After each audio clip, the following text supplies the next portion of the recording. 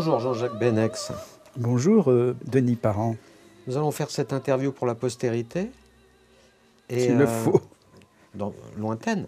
Euh, en attaquant peut-être sur le film que personne n'a jamais vu, le film de Jean-Jacques Benex que personne n'a jamais vu, c'est-à-dire le film d'enfance. Vous jouiez avec des petites voitures Dinky Toys, avec des petits soldats que vous faisiez parler entre eux? Non, mais je ne sais pas de quel film il s'agit. Je ne crois pas que ce film ait été fait. D'abord, il n'y avait pas de caméra à cette époque-là. Non, non, non, non, non, le film était dans la tête. C'était quoi vos jeux? Bah, euh, les jeux qu'on pouvait avoir à cette époque-là, euh, les soldats de plomb, euh, mais surtout des jeux, des, choses imaginaires, hein, parce que on s'embarquait pour des contrées lointaines, qui n'étaient d'ailleurs pas à l'époque coupables, parce qu'on rêvait d'Afrique équatoriale, de colonies d'Indochine, de trucs comme ça. Hein. C'était très, très, très. Euh, euh, c'est des paysages d'outre-mer. Euh, je partais en voyage. Voilà, c'était des voyages imaginaires. ça se conjuguait avec des, avec des contes. mais tout ça, c'était de l'imaginaire. Et j'avais pas du tout l'idée qu'il pouvait y avoir quelqu'un derrière.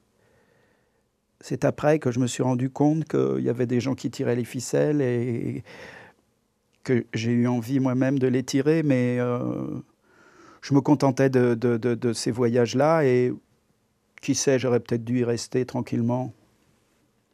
Devenir navigateur? Oui, j'ai failli d'ailleurs, mais là c'est autre chose, il y a eu des, il y a eu des vents contraires. Parlons des années d'apprentissage. Mmh.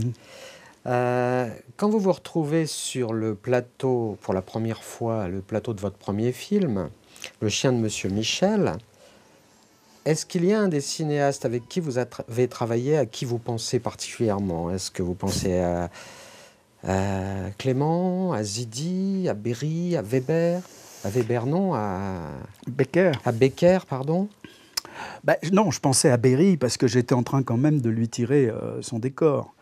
Donc euh, ça, c'était plutôt sympa parce que euh, il y avait un côté, je faisais un peu la perruque parce qu'il faut savoir que j'étais assistant de Claude Berry pendant des années et que quand, quand il s'est agi de faire un film, il m'a froidement laissé tomber. Et je me souviens l'avoir visité sur ce décor-là, qui était un décor, excusez-moi du peu, de Trauner et euh, de lui avoir euh, demandé de m'aider pour produire le film. Et euh, là, il a eu un réflexe qui était tout à fait étonnant, qui m'a beaucoup surpris. il m'a vraiment tourné le dos. Et il a fait un truc qui faisait quand il y avait un importun sur, sur un plateau, il, créait un incident du genre je pousse un coup de gueule et tout le monde la ferme et ça crée un mauvais climat chose que je connaissais par cœur, que, j'avais pu éprouver à plusieurs reprises, et dont je me suis d'ailleurs servi euh, moi-même plus tard quand j'étais metteur en scène. C'est assez pratique de créer un climat euh, qui fait que tout d'un coup l'équipe est mobilisée. Mais moi, je ne lui ai pas pardonné ça, et donc c'était une vengeance très, très, très médiocre, hein, euh, reconnaissons-le mais euh, de, lui, de, de, récupérer ce décor et de venir tourner en loose day dans un décor sur un film qu'il n'avait pas euh, voulu, voulu aider, alors que moi, ça m'avait semblé très naturel. Et là où c'était amusant, c'était que c'est Claude Zidi qui m'a aidé avec l'élégance qu'il caractérise, c'est-à-dire sans y toucher, l'air de rien, et euh, en assurance qu'il fallait juste pour que le film se fasse. Parce que moi, j'avais cassé ma tirelire pour faire le film. Hein. Euh, je m'étais servi un peu de tout, tout ce que j'avais euh, comptabilisé comme, comme ami, comme relation, chef opérateur, pellicule, technicien. Et on avait fait ça, c'était vraiment un, film, un film fait avec, avec les restes l'aventure un peu idéale. J'ai eu du mal à faire ce film parce que je ne trouvais pas de sujet. J'étais prêt à faire de la mise en scène, mais je crois que j'avais rien à dire. Et euh, d'ailleurs, je pense que j'ai toujours rien à dire. C'est ça qui est drôle. Je fais des films avec des histoires, euh, des petits personnages. C'était voilà, c'est venu comme ça. Je l'ai cherché pendant très longtemps cette histoire.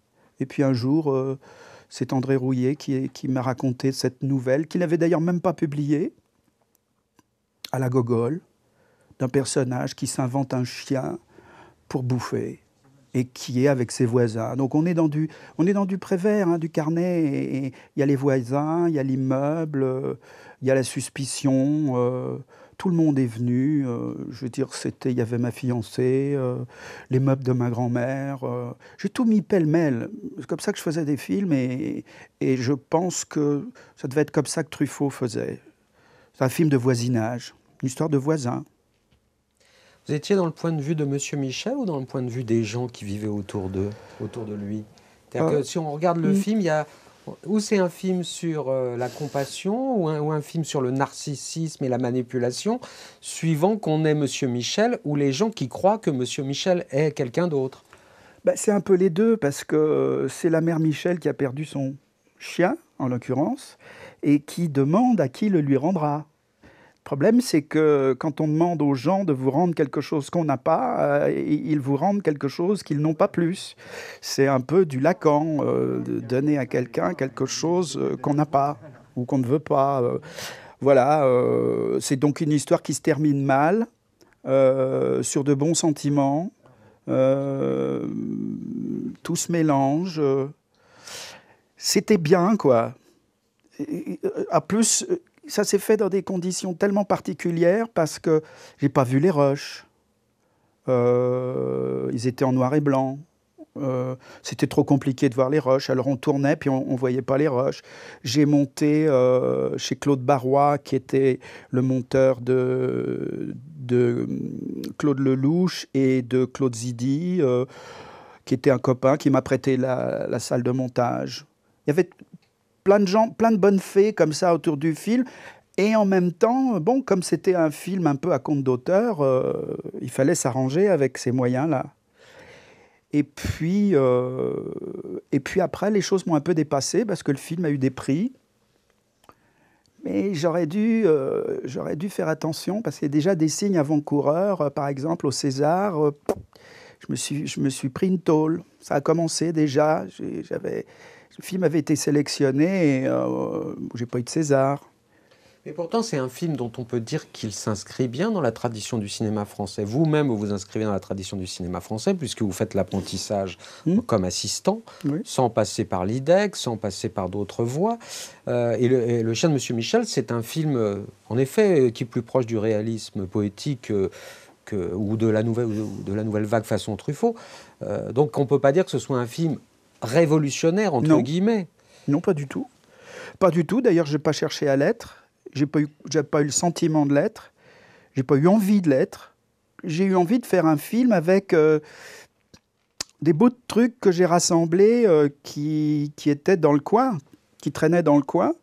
Euh, mais en ça, je crois que j'étais fidèle à l'apprentissage auquel je m'étais astreint, qui était euh, celui de la nouvelle vague. Euh, on est son propre metteur en scène, on écrit sa propre histoire, on la tourne avec ses propres moyens dans un voisinage. C'est un film de voisinage. Euh, se lève, un film d'immeuble. Oui, ouais. mais, mais avec, avec, avec les santons, euh, sont pas de Provence, mais c'est des petits personnages du, quotidien. Mais c'est ceux de, ceux de mon enfance, hein. c'est ceux de la porte de Clignancourt, de mon grand-père, euh, de l'immeuble, euh, euh, des voisins de palier. Les voisins de palier qui sont si gentils, si aimables, et, en même temps qu'il ne faut pas faire rentrer chez, chez soi. Donc, il y a quand même quelque chose de, dangereux dans cette histoire. D'ailleurs, c'est assez amusant parce qu'à la fin, j'ai montré le film euh, à Moshe Misrahi, qui était euh, un metteur en scène, euh, ami, qui a fait La vie devant soi. Et à la fin, il m'a dit, mais pourquoi tu fais cette fin si négative? C'est quand même, euh, à la fin, ce chien qui se jette sur son propriétaire pour le dévorer, ça a quelque chose d'effrayant. Alors c'est là où le film devient un peu fantastique. Et euh, je dis, bah oui, mais oui, parce que oui, les, rêves, quand on fait exister les rêves, ils vous dévorent. Voilà, alors ça bascule là-dedans. Et euh, bah oui, c'est exactement ce que je voulais. Et, et je lui ai dit, mais c'est ce que je veux. Il me dit, mais enlève ça, c'est dommage. Je dis, non, non, non, je veux le laisser comme ça. Je tiens à cette fin. On était déjà dans Roselyne et les lions euh, de manière prémonitoire. On se fait dévorer à un moment. Mais d'ailleurs, ça me rappelle une. Il y, a un certain nombre de phrases. J'ai un peu lu vos interviews, j'en ai commis certaines. Euh, je vous entends parler depuis longtemps et il y a deux expressions qui reviennent et que vous aimez beaucoup et qui pourraient être euh, euh, au-dessus de votre porte et qui veulent dire la même chose, l'une dans une version noble et l'autre dans une version plus populaire. C'est la roche tarpéienne est proche du Capitole. Et dans la version plus populaire et peut-être plus fin de banquet, il y a le côté euh, tutoyer les anges et se prendre une gauche. qui va, et, d'une certaine manière, c'est ce que raconte le chien de Monsieur Michel. Oui. Et ça va être une tendance quasiment pendant toute votre carrière. C'est-à-dire le côté, euh, quand on aboutit à quelque chose qui relève de la création du rêve, mm. on va en payer le prix. Oui. Oui, je le crois. Je le crois. Je ne sais pas très bien quoi en faire mais ça s'est imposé. C'est le prix de l'initiation. On, perd sa, on perd son innocence, on se déniaise. Euh, et certaines vérités apparaissent. Euh, c'est une redite, en plus euh, de quelque chose qui se comment dire, qui s'agite et qui, et qui s'impose avec le temps, au, au, fur et à mesure que, que les films se font. J'ai le sentiment que tout se défait. C'est le yin et le yang. Je sais pas. Parlons du premier jour et du premier action sur. Euh, vous vous en souvenez sur le chien de Monsieur Michel C'est une symbolique forte, la prise de pouvoir? Oui, parce que là, c'était vraiment, euh, ah oui, là, c'était vraiment le, premier film, donc euh, le sentiment de dire quelque chose que j'avais entendu dire et, euh, de m'entendre le dire, alors que après, ça devient de la routine. Rien de routinier en l'occurrence, mais suffisamment de, recul pour se rendre compte que euh, on s'entend le dire. Et ça va mieux en le disant. Et, et de se sentir bien. C'était très bien. Je me suis rendu compte que j'étais fait pour ça. C'était d'une telle évidence. Tout était en place. Tout, euh, tout tombait juste. Et mm, oui, j'ai eu le sentiment à ce moment-là de me dire, mais pourquoi tu as attendu aussi longtemps quoi? C'est simple. J'avais une certaine jubilation. J'ai pu la perdre d'ailleurs après, parce que la routine est arrivée, en effet. Ce que je craignais est arrivé, c'est-à-dire euh, euh, beaucoup, beaucoup d'anxiété. Là, non, il n'y en avait pas, c'est un film facile. Euh, les choses, les choses, les choses s'enchaînaient selon une certaine logique. Et, cette logique euh, n'était jamais remise en question, parce qu'il n'y avait pas vraiment de questionnement. L'équipe fonctionnait bien. Euh, il y avait une forme d'innocence. C'était la chance du, début, du débutant aussi, hein, parce que par la suite, j'ai revu le film et puis je me suis rendu compte, par exemple, qu'on s'était fait fourguer un, un, grand angle qui était complètement flou. Qui n'était pas du tout. Euh, c'était un caillou, quoi. Mais ça n'avait pas tellement d'importance. Pardon, vous disiez action ou partez? Oh, non, toujours dit action. Partez, non, j'ai peur. Ils se barrent après, si on leur dit ça. c'est un truc, ça, c'était des sortes de phrases qu'il fallait pas dire à, à, ce qui paraît à, à Robert Mitchum. Allez, on rentre à la maison. Hop, il prenait l'avion, bourré. On m'a raconté ça. Ça vaut ce que ça vaut, mais c'est une jolie histoire de cinéma. Alors parlons de diva, le premier long métrage, euh, où se pose, euh, on va dire, la charte graphique de la Bénexie, d'une certaine manière, bien plus que dans Le Chien de Monsieur Michel, puisqu'il y a des partis pris esthétiques, coloristes, euh, accessoiristes, et puis une sorte de ton juvénile, entre guillemets, général.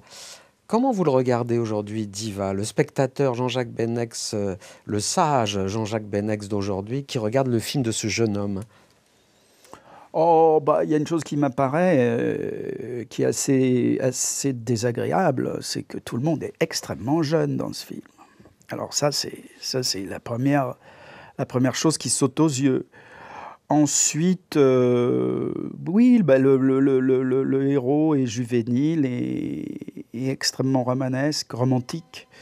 C'est un romantique parfait. Euh, par la suite, j'ai compris qu'il était autre chose que ce que je croyais, c'est-à-dire qu'il était euh, l'expression même de ce qu'on a appelé par la suite un, otaku, c'est-à-dire un collectionneur, un, timide, un introverti qui se gratifie à travers sa propre collection, euh, qui cherche à établir des relations avec les autres il est euh, bon, c'est une chance qu'il soit pas un serial killer, mais il aurait pu l'être. Euh, il, vit dans ses collections et euh, il aurait pu très très bien devenir un, comme récemment ce tueur d'anges.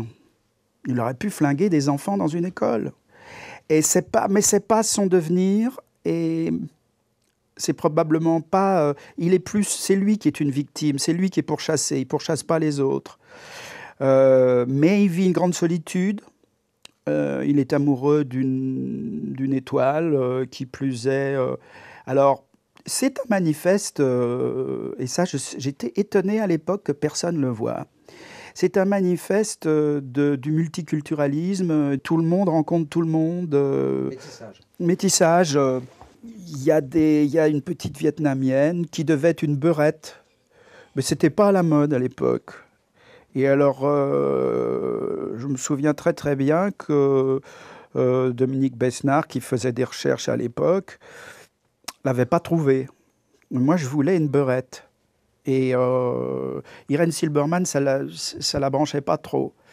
la vietnamienne non plus d'ailleurs, mais elle s'était fait une raison. Alors, euh, il y avait ce mélange et, ce personnage cosmopolite euh, de Gorodich euh, qui mettait toutes les pièces du puzzle en place. C'était aussi une, une rencontre du, de l'opéra et du, et, et du rock'n'roll. du musette. Du musette et du punk. Euh, toutes, ces, ces, toutes ces rencontres improbables qui étaient en train de se dessiner dans les années 80. La bande dessinée euh, et les héros qui étaient détournés dans des lieux euh, dans des lieux improbables, des friches industrielles, des reflets, une société qui était en train de basculer dans, dans un miroir. Et euh, c'est un détournement, un détournement euh, esthétique. Alors, ils n'ont pas vraiment voulu voir ça. Moi, j'ai pas compris à l'époque. Je me suis dit, mais pourquoi est-ce que ces choses qui me semblent si évidentes, euh, semble-t-il, ne leur apparaissent pas comme telles et pourtant, les gens allaient danser dans des discothèques où il y avait les mêmes néons.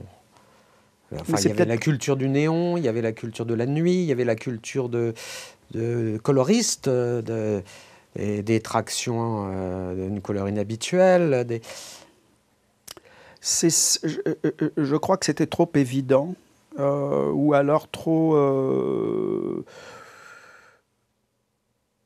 Il y, avait un décalage qui faisait qu'ils étaient un peu perdus et qu'ils ne décodaient pas comme tel. Euh, je crois qu'ils ne rentraient pas dans la symbolique. Euh, parce que c'est quand même une histoire de la technologie. Il y a un enregistrement, cet enregistrement est double, tout est double. Un film sur la dualité, la gémelléité. Tout est double, tout est à, tout est à plusieurs faces. Et euh, on ne sait pas très bien euh, qui est qui et qui est quoi. Flic et voyou, euh, blanche et noire, bien et mal, rock et punk. et au milieu de ça, une technologie qui est insensible. L'enregistrement, la machine à enregistrer n'a pas fait son choix. Euh, c'est l'histoire du piratage, c'est l'histoire euh, de la copie privée, c'est l'histoire euh, de l'agent, de l'impresario qui fait pression sur son client pour qu'il fasse les bons choix. C'est le commerce qui est aussi une industrie.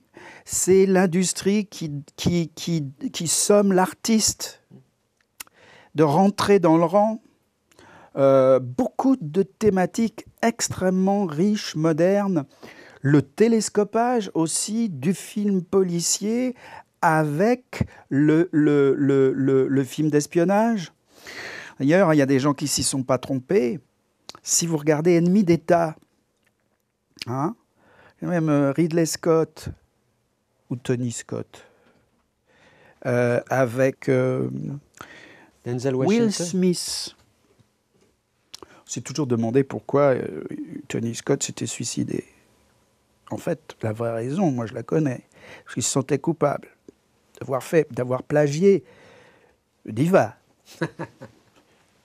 voilà, parce que en réalité, si on regarde le film, et c'est extraordinaire, c'est une, euh, euh, une copie de, euh, de la cassette, avec cassette double sur les bords du lac, avec un type qui est témoin de ça, qui refourgue la cassette dans un magasin de fringues, qui la met dans le sac. Les gens viennent chez le, chez le type, lui démolissent, lui taguent tout le tout tout, tout l'appartement. Ensuite, il y a une poursuite dans un tunnel avec. C'est extraordinaire. Après, il y a plein d'autres trucs qui n'appartiennent pas à ce film-là. Mais il y a ce, ce kit, ce bout-là, qui a été entièrement pris. Et puis à l'époque, le plus drôle, c'est que Will Smith est optionnaire des droits de Diva. Je n'ai pas, pas eu envie d'aller, faire un procès. Euh, je plaisante par rapport à, à cette, euh, à, à, ce, à ce parasitage. C'est un bout du film. Mais c'est assez marrant de voir comment on peut utiliser, réutiliser quelque chose comme ça, euh, au moins partiellement, dans un film américain, euh, ce qui est plutôt bon signe. Ça prouve que. Un hommage. Voilà. C'est un film sans star. Richard Boringer va en devenir une. Mm. Gérard Darmon le deviendra à plus longue échéance, enfin deviendra célèbre. Euh, Dominique Pinon aussi, à sa manière, dans sa carrière je me faisais la réflexion tout à l'heure avec euh, un cercle de cinéphiles qu'en fait, les deux films qui ont eu le plus de succès dans votre carrière sont des films qui, qui, étaient, au qui étaient au départ sans star. Mm. Que ce soit Diva et 37-2. Euh, dans 37-2 aussi, euh, l'affiche est faite avec Béatrice Dalle, qui était inconnue au bataillon à l'époque. est-ce que c'est une coïncidence ou est-ce que vous pensez que ça procède d'une mécanique de travail? Non, mais c'était une volonté de toute manière au départ, parce que que ce soit pour 37.2 euh, ou pour Diva, il y avait la volonté de faire appel à des inconnus. Euh, moi, ça me semblait normal. Il me semblait qu'il fallait imposer un choix. De toute manière, j'avais la chance et la malchance. Il n'y avait pas de place pour des stars le jeune postier ne euh, pouvait pas être quelqu'un de connu, ça servait à rien. Et avec la chanteuse qui pouvait être connue, mais c'était même pas possible parce que les grandes chanteuses d'opéra noir de l'époque, j'avais pensé à Shirley Verrett, des gens comme ça. C'est des, gens, j'avais découvert ça euh, avec effroi, mais ils, ils, sont, ils sont pris des mois et des années à l'avance sur des tournées extrêmement complexes et il n'est pas question de s'arrêter trois mois pour aller tourner un film. Donc il fallait que ce soit une inconnue qui allait prendre un rôle euh, de chanteuse d'opéra euh, euh, dans, un, dans un film français Personne. Le jeune garçon, évidemment, ne pouvait pas être connu. alors après, oui, il y avait la question de, de Gorodiche. Et là, je me souviens, j'ai trouvé un allié inattendu en la personne de, Serge Silberman, parce que Irène n'était pas très chaude. Euh, elle, aurait préféré Michel Piccoli ou quelqu'un comme ça. Et moi, je me méfiais un peu de Piccoli, que je ne pas trouvé bien, bien, loin de là, mais je voyais la connexion Silberman-Piccoli. Alors, je me méfiais toujours, je me suis toujours méfié. Euh, ça, c'est euh, un réflexe, une sorte d'atavisme des, liens occultes entre certaines personnes et les producteurs. Euh, certains y verront une, paranoïa, elle est toute relative. Je me méfie des connexions. Voilà. Euh, mais euh, on les évite de toute manière pas. Et au cours des tournages, elles s'établissent, elles se bonifient. En l'occurrence, Boringer, c'était un choix formidable. Mais c'était un choix du cœur, parce que je l'avais croisé, moi, quelques années auparavant, dans la rue, et il m'avait pris pour un postier. C'est vrai, et il était avec euh, une casting à l'époque qui s'appelait Mamad. il, bouffait dans le coin, et ils m'ont invité à déjeuner. Eh, toi le postier, tu veux pas venir bouffer avec nous? Et je lui dis, toi, quand je ferai un film, je te prendrai. Euh, vraiment. Hein. Et puis après, euh, Dominique revient un jour de la main jaune et dit J'ai pas trouvé de beurette, mais j'ai trouvé une, petite vietnamienne qui est formidable et très délurée. Voilà. Il y a eu aussi par la suite euh, l'histoire Florent Pagny, mais j'ai pas vraiment hésité euh, parce que Florent, euh, qui, qui était doué pour faire l'acteur et qui pourrait très bien faire l'acteur, euh, probablement encore aujourd'hui,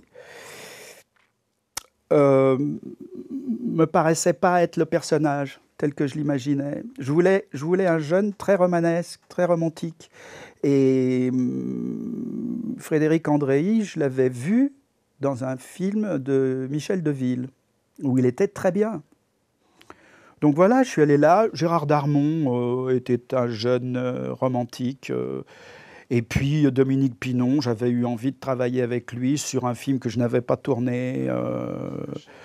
voilà, donc des, ça s'est fait assez simplement. Il y a eu le, il y a eu, si, il y a eu un vrai choix audacieux qui était celui de, du commissaire Saporta, Jacques Fabry. Jacques Fabry. Alors Jacques Fabry, euh, je, l'aimais beaucoup parce que c'était un acteur de théâtre. Il avait fait du judo, très physique. Et, il y avait quelque chose de, de costaud chez ce type-là. Et je le voyais bien euh, jouer ce rôle. C'était un contre-emploi. Oui, ça, ça me plaisait bien. Voilà, euh, ça s'est fait de façon assez simple. Roland Bertin, je le connaissais, c'était un acteur de théâtre pour faire l'impresario. Enfin, beaucoup de plaisir à, imaginer des gens. Euh, casting, c'est un grand plaisir euh, d'imaginer des, gens euh, dans des situations improbables, souvent. Et puis alors, bon, la chanteuse, mais la chanteuse, c'est une autre histoire, parce que ça, c'est une histoire parfaitement romanesque, parce que moi, j'ai fait un peu un mélange savant entre la réalité et le, puisque je suis tombé amoureux de la, chanteuse et, ça a été une grande aventure, quoi. Hmm. Et euh, je suis devenu le postier, quoi. J'ai fait un truc qu'il faut jamais faire, c'est-à-dire être séduit par son actrice principale. Malheureusement, ça s'est reproduit dans votre carrière. Ben oui, mais comme quoi. Euh, mais on n'échappe pas à ce destin-là quand on est metteur en scène. Non, je crois en effet que c'est assez compréhensible. Enfin, c'est arrivé à, à d'autres. À d'autres, hein, et non des moindres. Oui. Mais oui, c'est assez normal en fait. Et on, filme des jolies femmes et puis on tombe amoureux d'elles. Normal. Une dernière chose, Jean-Jacques Benex sur Diva. c'est un film qui est très prémonitoire. Enfin, c'est déjà un film qui est sur le droit d'auteur la préservation du droit à l'artiste de garder un certain contrôle sur son œuvre vis-à-vis -vis de la duplication, on est bien loin encore d'Internet et, du téléchargement légal ou illégal et du piratage. Aujourd'hui, il y a une poésie du piratage. Euh, est-ce que Diva est un film qui réaffirme le droit d'auteur? Oui, on peut, on peut le voir comme ça, euh, sachant que, euh, en effet, la question n'est pas posée comme telle dans le film mais elle la pose dans la mesure où il y a cette relation entre l'unique, euh, entre l'artiste et, euh, sa prestation, euh, le plaisir d'être le dépositaire d'une œuvre, de l'écouter, de la faire sienne et de l'échanger avec d'autres, de, la collectionner, de la, de la compiler, de la collectionner. Euh, c'est assez. Euh, c'est à la fois un collectionneur et en même temps quelqu'un qui échange avec d'autres. Euh, Jules vit dans un univers d'otaku. D'ailleurs, son copain, il collectionne des maquettes. C'est vraiment le portrait d'un otaku. Et à tel point que quand je suis allé au Japon, euh, et que j'ai fait ce film sur les otaku, il y a eu un, euh, un jeune japonais qui m'a sorti un DVD de Diva en me disant Mais comment vous pouvez me demander ce que c'est qu'un otaku? Vous avez fait le portrait d'un otaku. Euh, et ça va aussi très très loin dans les comportements sexuels parce que c'est des timides, ils ont une sexualité un peu réprimés, euh, inhibés, donc euh, ils sont dans le fétichisme, il y a la robe, il y a les prostituées, tout ça, autant de choses qu'on retrouve. Ce sont des jeunes gens, beaucoup de garçons, euh, mais pas seulement, qui sont dans les maquettes, qui sont dans les poupées, qui sont euh, euh, dans, les, dans les collections aussi bien de, de sous-vêtements que de que d'œuvres qui les mettent en relation avec la technologie et la technologie est l'intermédiaire. Donc très rapidement, la, la copie, le moyen de copier euh, et le droit à la copie vont de pair. Droit inaliénable, comme celui qui consiste à dire mais j'ai le droit de compiler et j'ai le droit d'échanger. Euh, donc ça, c'est extrêmement moderne. Et euh, c'est le sujet du film. Et là, le film, il est très avant-gardiste. Mais je le dis assez calmement et euh, humblement, ce qui va vous surprendre, mon cher ami, c'est que ça s'est fait comme ça. Il n'y a, pas de, a pas de volonté visionnaire en réalité. Ça découle. Vous êtes Monsieur Jourdain, vous, oui. vous, êtes, euh, vous pratiquez sans savoir alors. C'est ça. C'est préconitoire, on va dire. Passons à la, à la Lune dans le caniveau. Euh, alors bon, on connaît toute l'histoire et les péripéties qui ont entouré le film. Je pense qu'on ne va pas revenir dessus. En revanche, je voudrais revenir sur le contenu du film qui, avec le, euh, la, distance et, le temps, ressemble à un film sur le cinéma. C'est-à-dire, c'est comme un immense jouet euh, avec une ville qui est Benexville, euh, avec des acteurs qui sont des ben X Stars. Enfin, y a, on voit que vous êtes là pour le coup avec votre train électrique euh, et que vous essayez tout ce qu'il est possible de faire en matière de cinéma et que d'une certaine manière vous régurgitez. Euh, c'est une analyse erronée ou, euh, ou fantaisiste? Non, non, non. que ce soit un train électrique, probablement. une ville du cinéma, certainement. Euh, je ne vois pas pourquoi j'aurais pas pu profiter de ce train électrique et, de m'y amuser. Euh, d'autres s'y amusaient en même temps que moi et voulaient tous les jouets dans la vitrine. Et ils avaient des noms célèbres parce que j'ai quand même tourné ce film entre Sergio Leone et, et Fellini. Ça inspire. Ils étaient à côté, ou j'étais entre eux. Qu'est-ce qui tournait les deux rétrospectivement? Il y en a un qui tournait avec De Niro. Il était une fois en Amérique? Probablement. Et puis l'autre qui tournait ou qui préparait euh, Roma ou La Naveva ou quelque chose comme ça. C'est facile hein, de retrouver ça parce que c'est Cinecittà et c'est cette époque-là. Hmm.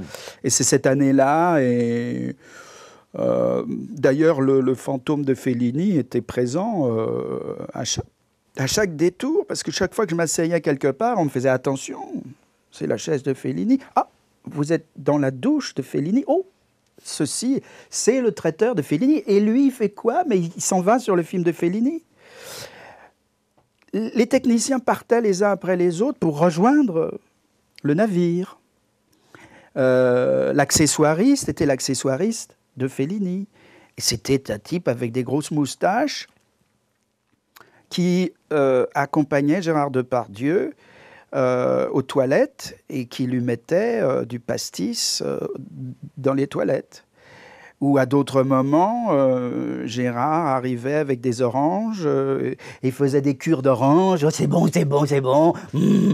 et, en fait, les oranges étaient piquées à la vodka et, c'était, c'était ça tout le temps. Euh, donc, euh, je me suis laissé aller à cette féerie, euh, mais, d'une manière à la fois et compulsive et en même temps abusive et, jouissive, parce que tout était possible dans le magasin accessoires. Tout était tentant, tout était beau. Et d'ailleurs, tout le monde, tout le monde enfonçait ses bras dans le coffre. Ils avaient les, manches retroussées jusque-là. Et ils, et ils se bafferaient. Parce qu'aussi aussi bien l'équipe italienne que l'équipe française, que, que les gens de la Gaumont, on m'a accusé de tous les mots, mais euh, je veux dire, il suffit de relire. Euh, en plus, c'est facile parce que c'est pas moi qui l'ai écrit. Alors, c'est les mémoires de Daniel Toscan du Plantier, parce qu'il y a quand même l'Audi quatre portes enfin, quand je dis l'Audi 4 portes, c'est pas une Audi, c'est la, c'est pas l'Audi, c'est la Maserati, 4 portes. Maserati, Maserati quattro portes, quattro, je sais pas quoi, et, dont, euh, dont que, s'était fait livrer euh, euh, le, fils euh, du metteur en scène italien qui était le directeur du studio et de la Gaumont Italie et qui avait voulu s'acheter la Maserati 4 portes. Et donc ils se sont payés tous des Maserati, j'exagère un peu, mais à peine, des Maserati sur le film. Et donc tout le monde m'encourageait, mais vas-y Gigi, dépense, c'est bien. Euh, c'était une gabegie permanente. Et en même temps, moi j'avais un souci permanent que ça soit sur l'écran d'en rajouter, d'en mettre un peu plus, un peu plus de studio, un peu plus de trucs, un peu plus de cyclo, un peu plus de, de, de, ci et de ça. Et on tournait des kilomètres de pellicule dans cette chaleur euh, caniculaire euh, des studios 15, 8, 14, 12, et qui, qui n'en veut et euh, moi, je ramassais tout, je collectionnais tout, je glanais tout. Il y avait euh, Hilton McConico euh, qui faisait les décors, Philippe Rousselot. la Lune était un immense gâteau et, on, on s'est littéralement vautré dedans avec Gérard. Victoria Abril, Nastasia Kinski, et c'est une histoire de cinéma. Quand je disais que c'était un, film sur le cinéma aussi, euh, je pensais aussi au fait, bon, à, David Godis bien sûr, mais je pensais aussi à, vous avez fait un film en couleur sur le film noir américain d'une certaine manière. Oui. Vous avez colorisé euh, sans que ce soit péjoratif. Mais euh, ça correspond assez bien, hein, euh, cette réflexion. Ça correspond très bien même à David Koudis, parce que c'est cette obsidienne euh, avec des couleurs chatoyantes, euh, cet, univers euh, de polar noir euh, avec des reflets de lune. Et si on relit Goudis, c'est quelqu'un qui écrit très très bien, mais très très bien. Et ce qui m'a frappé, moi, à la sortie du film, je me disais, mais ils se foutent du monde quand même parce qu'ils n'ont pas lu.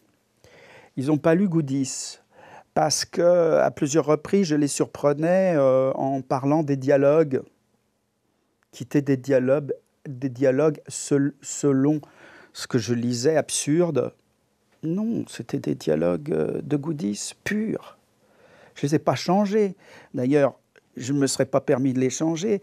Et euh, c'est si vrai que sur Diva, j'ai signé les dialogues. Sur la Lune, je ne les ai pas signés parce que je suis très respectueux de ces choses-là.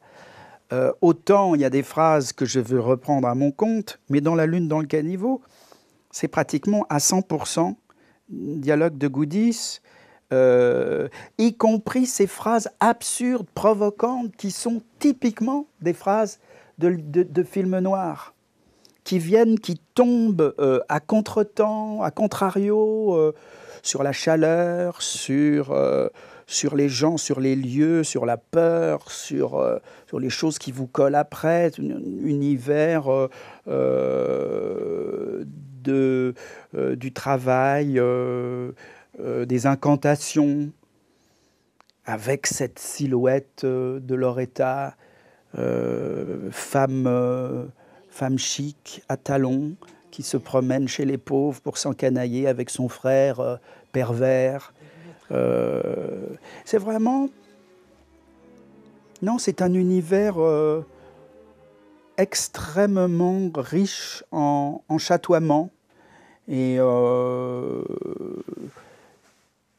qui sied assez bien à ces, à ces couleurs de sang, à ces taches de sang, à, ces, à, ces, obsessions nocturnes. je me souviens de la pub Try Another World. Oui qui était un peu le, la baseline du film, quoi. Euh, qui euh, presque subliminal d'une certaine manière, et pour les personnages et pour les spectateurs. Ça, oui. ça sort d'où ça? C'est alors celle-là, c'est une invention personnelle. Euh, C'était l'envie de fabriquer justement une ligne publicitaire euh, qui serait en rapport, euh, puisque la publicité ment et que l'objet même de, de, son, de son message, c'est le mensonge. C'est euh, la phrase ségalienne ou ségalienne euh, par excellence. Nous vendons du rêve. Mais du rêve, on vend, on vend du rêve à qui? On vend du rêve aux pauvres. Et qu'est-ce qu'on fait? On leur met sous leurs fenêtres. On leur vend quoi? De la toxicomanie on leur vend de l'alcool, on, leur vend, on leur vend des, pays, des, paradis artificiels, on leur vend des lieux impossibles à, acquérir. Et, au petit matin, quand la lumière revient, l'enseigne s'éteint. Et il y a juste euh, quelques chatoiements, euh, quelques reflets euh, de soleil, et on entend les mouettes qui reviennent. C'est un film où tout se passe de façon, tout glisse tout, c'est un cycle permanent. Les rêves s'éteignent, la lumière du jour arrive, on se réveille et on s'étonne de se retrouver dans le lit de sa belle-mère. C'est une histoire de drogue, c'est une histoire d'alcool, c'est une histoire de, de, dessoulement, c'est une... Euh, la lune dans le caniveau, c'est une euh, cellule de dégrisement euh, avec une fenêtre ouverte sur l'option impossible de s'inventer un autre monde pour les pauvres. Donc c'est un film à caractère social. Ça peut étonner, mais c'est ça. Euh, où les personnages sont pris dans un labyrinthe où il n'y a pas de coupable, où il n'y a pas de, d'innocent et où tout est possible et où tous les jeux sont permis. Et en soi, c'est totalement l'univers de David Goudis. C'est pour ça que ce film a eu ce destin absolument unique, euh, qui reste une obsidienne, qui reste euh, un joyau, mutilé, pour lequel je ne pourrais jamais apporter tout à fait la preuve. Daniel Toscan du Plantier, euh, pour lequel j'ai beaucoup d'affection en, définitive, parce que à la fin de sa vie, il lui est arrivé une drôle d'histoire. Daniel euh, à se rendre compte qu'il avait fait un drôle de film et il le revendiquait de plus en plus. Et il m'a dit cette chose-là. À, il me dit, mais vous savez, au fond, vous avez été visionnaire. Et je crois que par rapport à ce film, je dois revenir sur ce que j'ai pu penser ou dire. Et euh, il m'a cité un certain nombre de gens dont il pensait qu'ils avaient pu être, euh, disons, dans la, dans la lignée de ce type de film. C'était très gentil, ça m'a beaucoup touché. Ah, il est mort à ce moment-là, donc cette chose, il n'a pas pu le dire. Mais j'ai eu le sentiment qu'il était sincère. Et il disait ceci, il disait, je ne sais, d'ailleurs il l'a écrit, c'est dans son livre, il dit, j'ai jamais su si j'avais fait un chef-d'œuvre de narcissisme ou bien euh, un, énorme film euh, ou, un chef-d'œuvre tout court, quelque chose comme ça. Et, et je crois qu'il se posait vraiment la question. Mais ce film lui doit beaucoup dans la mesure où lui avait à donner le final cut à toutes mes folies. Et c'est bien ça qu'on lui a reproché. Et c'est bien ça aujourd'hui, et c'est, ça qui implicitement a été repris par la Gaumont quand ils ont tout détruit. Parce qu'ils ont saccagé toute possibilité de retour en arrière et toute possibilité d'apporter les preuves que ce film était quelque chose d'autre que ce qu'on en avait fait, dans la mesure où moi j'ai coupé quatre, le film fait 4 heures, hein, c'est Evans Gate, et il y avait une version 2 heures supplémentaires. Tous les rushs, tous les doubles ont été passés au pilon. Et moi, je garde ça comme euh, un coup de poignard, euh, une, une privation d'une possibilité de faire valoir des preuves posthumes que ce film avait d'autres choses encore à dire. Mais je crois qu'il y avait la volonté de se débarrasser de tout ça. Et c'est assez amusant, c'est l'anecdote, c'est du cinéma. C'est que du cinéma, c'est que de la pellicule. Après tout, c'est de la pellicule, vous voyez. Mais seulement la pellicule, elle recèle des secrets. Et il faut les faire disparaître. cette réflexion, je, je sais, je, connais votre euh, souffrance sur ce film euh, votre final cut à vous, euh, la director's cut qui, n'existe pas, euh, m'amène à une réflexion sur l'ensemble de votre œuvre où vous avez, alors même que vous avez été producteur assez vite de vos films, pour garder autant que faire se peut la maîtrise de, de, de, l'œuvre, vous avez quand même toujours eu des versions, quasiment des versions doubles, des versions longues, mm. comme s'il y avait en vous ou un doute. Mm ou une sensation qu'un film devait se prolonger mm, dans le plaisir. Non, mais Pourquoi? Ah oui, Au fond, pourquoi Ah non, mais ça, c'est une question. Alors, euh, elle est que. oui, mais je suis pas le seul à, retravailler. À... J'appellerais ça le repentir. Hein c'est ce que c'est ce que les c'est ce que les peintres euh, on corrige, on a envie de reprendre son travail, euh, il n'est pas achevé, euh, comme s'il n'y avait jamais de fin. Là, c'est, je crois que là, on, rentre dans une autre dimension qui est celle du doute, en effet. Et euh, tout producteur que je suis, d'ailleurs, je, je, ne serais pas aussi... je suis catégorique sur le mal qui a été fait à cette œuvre-là par des gens qui auraient eu tout intérêt à tout garder et par l'imbécilité d'un système qui fait disparaître les chutes et les doubles d'une œuvre qui lui a coûté très cher. C'est le crime capitaliste. C'est pas autre chose que je stigmatise. Comment pouvez-vous être aussi con pour faire disparaître quelque chose qui vous a coûté tant? C'est stupide on se sert tous les jours de ces, de ces restes-là. Ces restes-là, c'est de l'archéologie, il faut la faire parler. Bon. Alors, pour des histoires de frais de garde, On va foutre ça au panier. Mais quel est le con qui a fait ça? Qu'on me le trouve. Qu'on le passe à la rôtissoire, à la roue. Bon. Alors, en revanche, cette question qui est pourquoi? Pourquoi faites-vous des films aussi longs? Pourquoi n'arrivez-vous pas à mettre un terme? Oui, alors là, ça, cette question-là, je me la pose. Euh, je ne sais pas y répondre. Je ne sais pas y répondre, sinon euh, que je, demande l'indulgence du jury.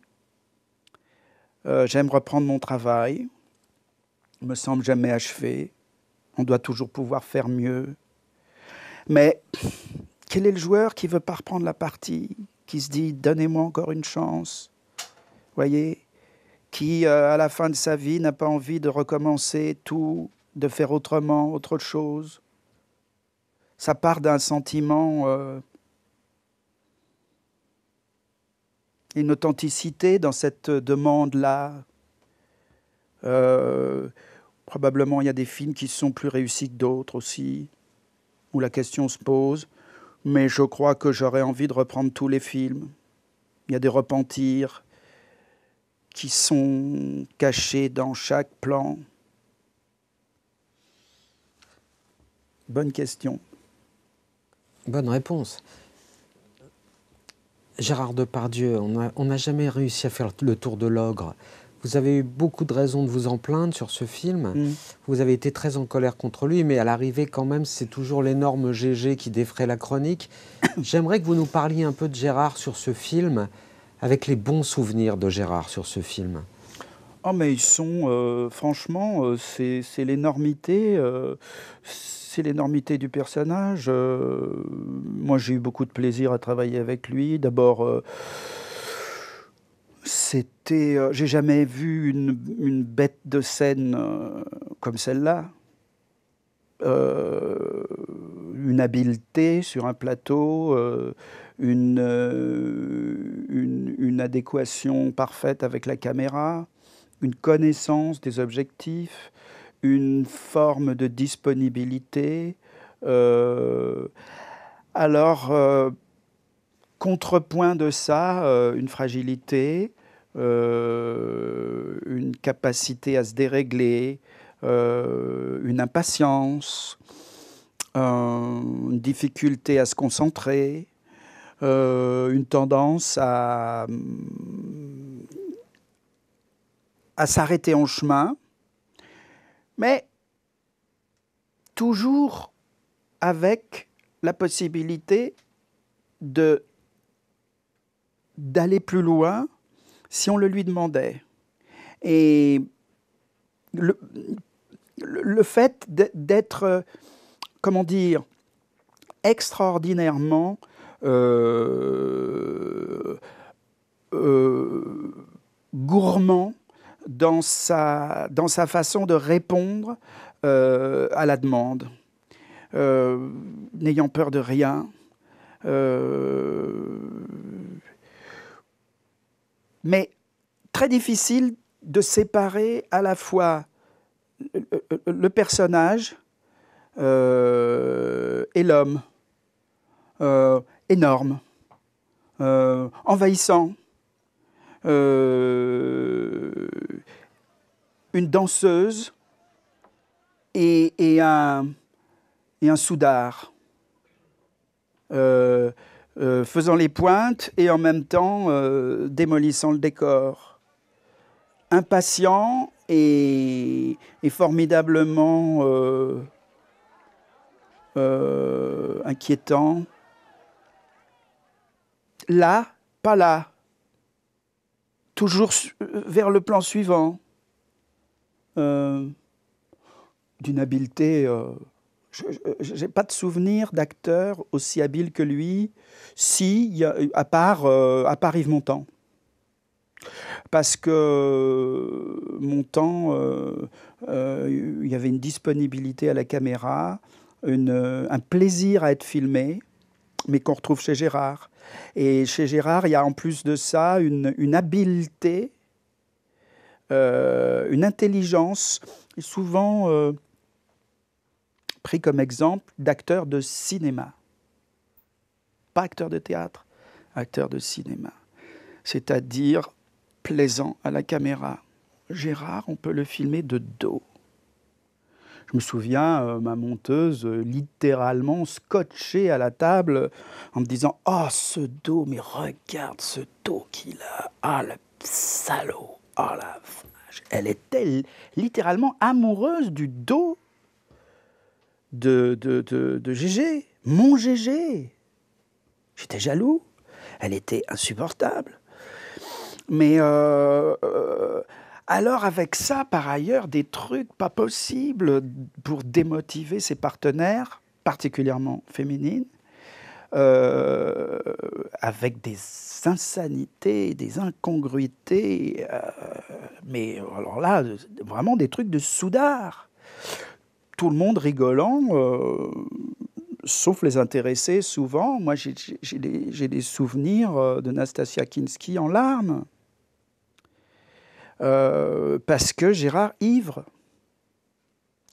Et, et, de ne pas savoir quoi faire parce que je me souviens un jour, je, je, lui ai dit euh, Bon, je vais pisser avec toi. Ah, hmm. tu crois que je suis bourré? Bah, Non, non, je crois pas que tu es bourré, mais je pense que je pense qu'il faut que j'aille pisser avec toi parce que voilà, et, dans sa loge, arrachant à moitié la porte du réfrigérateur, euh, se versant euh, un litre de café. Euh, Mais ça se dirige d'une bête comme ça, ça Oui, oui, oui. On lui oui, dit oui. des choses Oui, oui, oui, oui, oui, oui, oui. On lui apprend à jouer la comédie Non, non, parce qu'on n'a pas besoin. Non, il est, il est, il est, il est très disponible il fait les choses, il, il, se met à la bonne place, il donne le bon regard, euh, il est plutôt agréable. faut pas le laisser partir. Ah, sinon, on le retrouve chez De Niro. De quel état, ça, on ne sait pas. Il est chez De Niro, où il est euh, sur le plateau d'à côté, il fait un truc, il fait un machin. Euh, c'est un gosse. Mais j'ai le souvenir aussi euh, très, alors, très affectueux, très ému euh, de Guillaume, qui était un petit gosse là, il avait 14 ans et je lui avais donné un petit boulot à faire parce que je m'étais dit, cet enfant il s'emmerde. Alors il était là sur le plateau, je lui avais donné le rouge à faire et il y a plusieurs années après, je l'ai rencontré au bistrot. On se retrouvait de temps en temps dans un bistrot euh, de la rue d'En-Raymond. Euh, on prenait des cafés et il s'en souvenait très très bien et, il s'en est souvenu, je le sais, parce qu'il en a parlé avec des gens et il m'en gardait une certaine euh, euh, reconnaissance d'avoir été gentil avec lui. Mais ça m'avait paru tout à fait normal. Ces deux mômes-là, je les, je les, aimais bien, quoi, parce que c'était pas facile pour eux. C'était évident que c'était pas facile pour eux. Et euh, voilà, il y avait mon GG qui était là au milieu de ça. Euh, mais c'était, je garde un bon souvenir de ce tournage et on s'est très bien entendu. Il y a eu beaucoup de légendes qui ont été dites sur euh, notre mésentente, etc. Ça n'a pas eu lieu. Je vous, je vous, assure, oui, alors, il y avait le fait qu'il était souvent ivre et que ça posait des problèmes. Euh, et qu'en en soi, c'est extrêmement problématique. Mais est-ce que c'est suffisant pour le détester? Euh, Non. Non. Et puis, euh, je sais pas, il fait tellement partie de mon univers, j'ai tellement un sens. Euh, c'est quelqu'un de, de, mon, de mon environnement, quoi. J'ai une, c'est une bête de votre zoo. Oui, mais bête, ça serait. Vous voyez, j'ai pas, j'ai pas, c'est pas un trophée de chasse, c'est pas. C'est un ogre de votre euh, pays des merveilles. Un ogre et aussi un prince charmant. Ah, c'est un prince charmant, c'est un prince tout court. Euh, euh, j'ai un faible. Voilà, je crois que c'est ça surtout. Je crois qu'il peut faire un peu n'importe quoi. Euh, je pense que c'est quelqu'un, pour me résumer, je dirais que c'est quelqu'un qui est éminemment photogénique, cinématogénique, et qu'on a plaisir à le filmer. Et que ça, c'est pas donné à tout le monde, franchement. Euh, c'est une caractéristique, je dirais plutôt pour ce qui me concerne, que j'aurais plutôt gardé à l'encontre d'un certain nombre de femmes. Voilà. Il a cette féminité, féminité d'ailleurs qu'il revendique. Il a un caractère féminin et on le regarde avec des yeux amoureux et on, il donne envie d'être filmé. Et on ne s'en lasse pas. Voilà, il, plaît à la caméra et, ça, c'est une donnée euh, incompressible et indiscutable du personnage qui le rend éminemment sympathique et qui fait qu'on lui pardonne énormément de choses.